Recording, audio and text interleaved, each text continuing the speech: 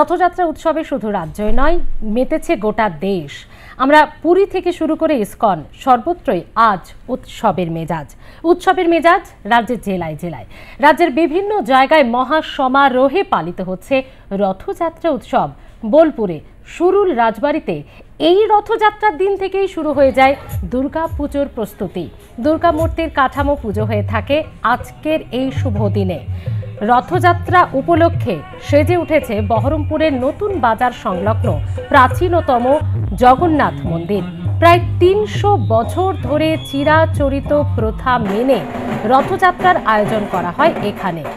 বাঁকুড়ার লালবাজারে জগন্নাথ দেবের মন্দিরে ভক্তের ঢল। জগন্নাথ, সুভদ্রা, বলরামকে রথে বসে পরিদর্শন করা হয় বাঁকুড়া শহর। এরপর সাত দিন রাখা হয় রাজগ্রামে তাদের মাসির বাড়িতে।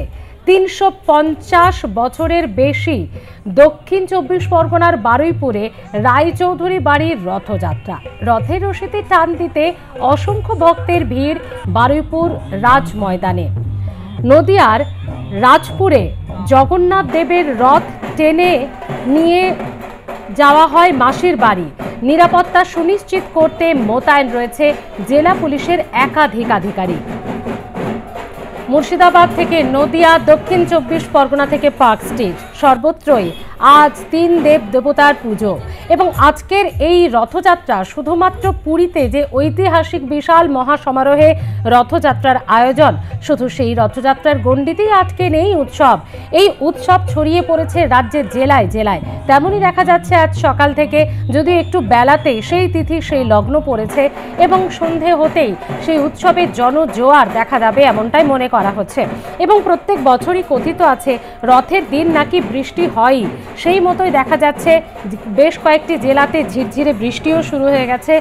বৃষ্টি হয়েছে শহর কলকাতাতে। তারই মধ্যে মুখ্যমন্ত্রী মমতা বন্দ্যোপাধ্যায় তিনিও পৌঁছে যান। তিনিও তার আবেগ তার সংবেদনশীলতা, এই সমস্ত উৎসবের ক্ষেত্রে আমরা বারবার দেখেছি তিনি ধরা দিয়েছেন অন্য আমেজে, একেবারে অন্য মুডে এবং আজকেও সেই মুখ্যমন্ত্রী ছবিটায় দেখা গেল আবেগঘন মুখ্যমন্ত্রী, উৎসব প্রেমী মুখ্যমন্ত্রী, পার্ক স্ট্রিট ইস্কন মন্দিরে তার হাজিরা একেবারেই সকাল সকাল।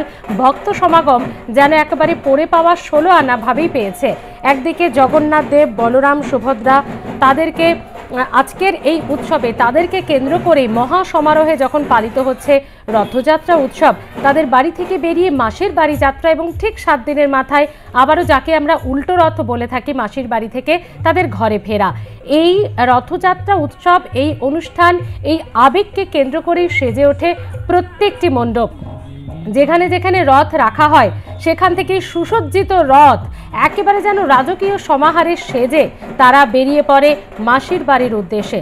নতুন করে তাদের স্নানযাত্রা, কত কি নিয়ম, কত কি নিষ্ঠা, কত কি প্রথা এবং আজকের এই দিনটি, শুভ দিনটি শুধুমাত্র রথযাত্রা উৎসব হিসেবেই এই গণ্ডিতেই আবদ্ধ নেই।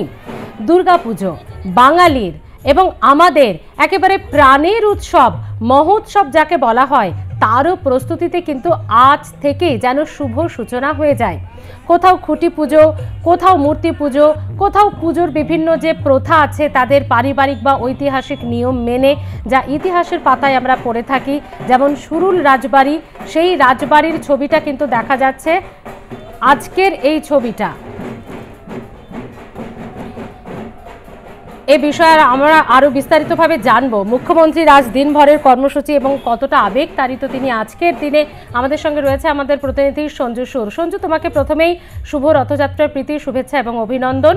আর আজকে মুখ্যমন্ত্রীর দিনভরের কর্মসূচি, কতটা আবেগ ঘনিত তিনি প্রত্যেকবারের মতো এবারও? দেখো, এই মুহূর্তে এখানে যে পরিমাণে বৃষ্টি হচ্ছে, তাতে রথযাত্রার উদ্বোধন মুখ্যমন্ত্রী মমতা বন্দ্যোপাধ্যায় সেটা এক প্রকার নষ্ট হতে মুখ্যমন্ত্রী মমতা বন্দ্যোপাধ্যায় একটা পঞ্চাশ নাগাদ এখানে এসে উপস্থিত হন কিন্তু তখনই বৃষ্টি হচ্ছিল এখন বৃষ্টির তো অনেক বেশি। মিনিট দুয়েক আগে জনা গঙ্গোপাধ্যায়ের যে টিম তারা একটি নাচের অনুষ্ঠান করলেন কিন্তু সেটা বৃষ্টির মধ্যেই আচ্ছা। হলো। এই মুহূর্তে মমতা বন্দ্যোপাধ্যায় তিনি এখানে রয়েছেন। এই যে ইস্কনের রথযাত্রা তার সূচনা মুখ্যমন্ত্রী মমতা বন্দ্যোপাধ্যায় করছেন। কিন্তু পুরোটাই বৃষ্টির মধ্যে। অন্যান্যবার যেটা এই সময়টা তো এতটা বৃষ্টি হয় না। অন্তত রথযাত্রার সূচনা মুখ্যমন্ত্রী মমতা বন্দ্যোপাধ্যায় এখান থেকে করতে পারেন।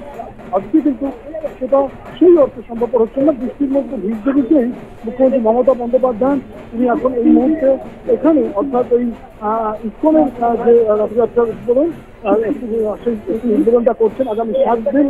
এই রথ এখান থেকে গিয়ে ময়দান এলাকাতে থাকবে এবং তোমাকে বলে রাখি তিপ্পান্ন বছরে পদার্পণ করল এই রথযাত্রা, ইস্কনের রথযাত্রা, যেটা ভারতবর্ষের ইস্কনের সবচেয়ে পুরনো রথযাত্রার মধ্যে অন্যতম। সে তার উদ্বোধন মুখ্যমন্ত্রী মমতা বন্দ্যোপাধ্যায় তিনি এখন এই মুহূর্তে এখানে রয়েছেন। কিন্তু আমি আরও একবার বলছি প্রচণ্ড পরিমাণে বৃষ্টি হচ্ছে। ফলে স্বাভাবিকভাবে রথযাত্রার যে স্বাভাবিক পথ পরিক্রমা, সেটা শেষ হওয়ার পরে কতদূর এখান থেকে উদ্বোধন অনুষ্ঠান শেষ হওয়ার পরে কতদূর কি শুরু হবে বা কীভাবে যাবে, সেটা নিয়ে আবার হয়তো ইসলাম কর্তৃপক্ষকে সিদ্ধান্ত নিতে হবে। আপাতত ধন্যবাদ সঞ্জু, তুমি নজর রাখো, বৃষ্টিতে কিছুটা বিঘ্নিত হচ্ছে রথযাত্রা উৎসবে যে বিভিন্ন আজকের প্ল্যানিং প্রোগ্রাম রয়েছে। তাতে কিছুটা বাদ সাধছে বৃষ্টি। তবে আশা করা যাচ্ছে দিনভর হয়তো এক নাগারে এই মুষলধারে বৃষ্টি হবে না, কিছুটা থামবে। তখন মানুষ আবারও মেতে উঠবে তাদের এই উৎসবে, রথযাত্রা উৎসবে। এবং আগে থেকে আমরা দেখেছি নাচ, গান, সাংস্কৃতিক অনুষ্ঠান এবং ওড়িশি নৃত্য, জোনা গাঙ্গুলির এবং তার যে গ্রুপ রয়েছে তার, সব মিলিয়ে সেই জায়গা থেকে কিন্তু সূচনা তো হয়ে গেছে। তবে কিছুটা বিঘ্নিত হয়েছে বৃষ্টিতে। রথের দিন বৃষ্টি হয়ে থাকে, তবে বৃষ্টির পরিমাণ বেশ ভালো। সে কারণেই এই মুহূর্তে কিছুটা বিঘ্নিত হলেও বৃষ্টি থামার পর আশা করা যাচ্ছে বিকেল থেকে চেনা ছন্দে ফিরবে রথযাত্রা উৎসব।